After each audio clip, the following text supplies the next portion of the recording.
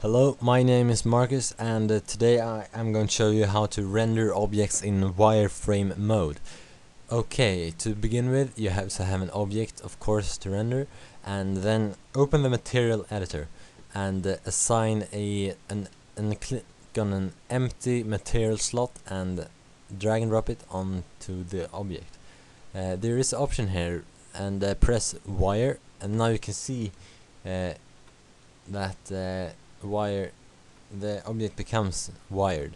So if you render this but as you can see also the alpha channel is only the wires. So if we change the background color to uh, for example press 8 to get up the environment by the way and change the color to red for example we render it that it's hard to see. And uh, uh, I prefer when I render in wireframe to have the object in a solid color and uh, the wires black but on top of the solid object.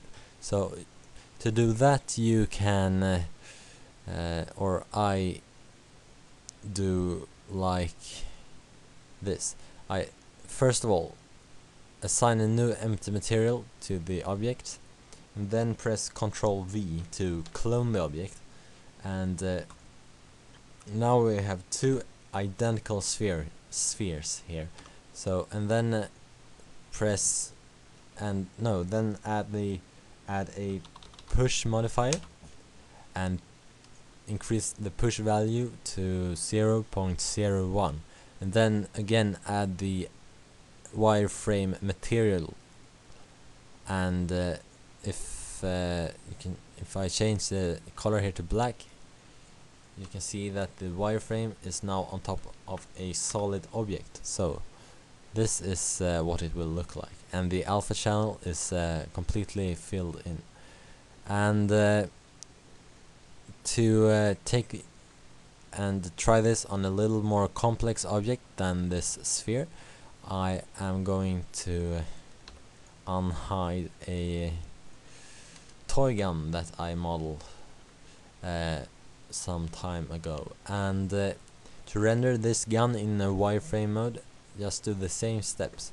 Select all the objects open the material editor add a, an empty material to uh, the gun. Uh, you can uh, change uh, you can for example add some uh, make the color a little brighter add some specularity and you can yeah you can do whatever you want. And uh, then uh, clone every object select all of them first then uh, hold control and press V. And make sure copy is selected and press OK then add a push modifier. Increase the push value and then add the wireframe material. Now if I uh, test render this you can see that uh, the uh, all the uh, wires wire the wireframe is uh, looking pretty good. And uh, maybe you don't want to have uh, this many wireframes. So you can go to the turbo smooth modifier and tick isoline display. And that means that didn't do much of a difference so I'll just undo that. But I can show you what uh, isoline display does. So if I just create a sphere and add a or first reduce the segments pretty much then add a turbo smooth modifier and increase the iterations. Then you can see if I tick isoline display it keeps the the edges that uh, was on the object from the beginning but uh, makes them smooth without showing all the new faces that uh, has been created. And uh, it saves uh, a lot of uh, memory when you're working not needing to show them the maybe not a lot of memory but some memory when the program doesn't need to show uh, all of these faces. It can just show this uh, these few lines. And uh, yeah this was uh, the end of this short tutorial.